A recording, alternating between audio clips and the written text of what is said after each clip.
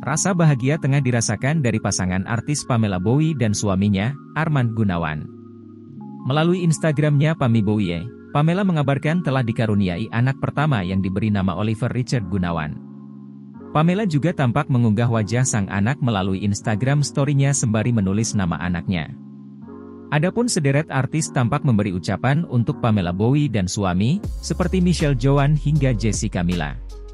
Sebagai informasi, Pamela Bowie dan Arman Gunawan menikah pada 4 September 2023.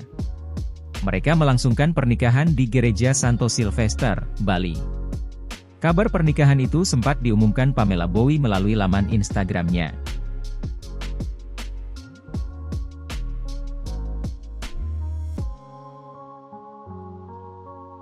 Download Tribun X sekarang, menghadirkan lokal menjadi Indonesia.